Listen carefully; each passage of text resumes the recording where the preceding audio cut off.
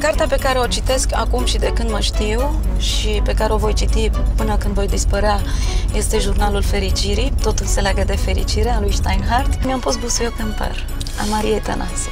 Nimic nu e perfect. Oh, Doamne, nu mi-aduc aminte, dar cred că este Melc Melcodobelc. Fericirea dincolo de toate, care nu ține numai de fantezie, ține de realitatea mea. Toate la un loc, dar în primul rând cafeaua făcută de soțul meu. Lipsa de moralitate sau de caracter. Cea pe care am făcut-o ultima oară, salata. Pe hârtie, Barcelona. Tot felicia pentru că am căutat iubirea și fericirea. Este uh, intuiția feminină care citește în adâncul sufletului unui om și uh, mai sunt niște date, uh, poate ale mele, nu știu ale cui, pe care nu le pot explica. În a descoperi umanitatea, frumusețea, fericirea, iubirea. Sunt mai multe modele.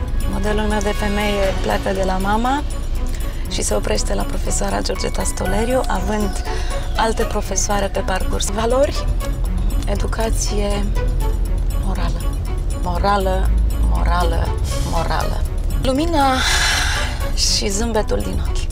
Cred că și una și alta. Sunt momente în care utilizez și cheia franceză și acul de cusut. Ultima oară când am folosit acul de cusut a fost într-un spectacol Bărbierul din Sevilla și l-am pus ca să se, să-i se înfigă uh, în fundul lui Don Bazilio.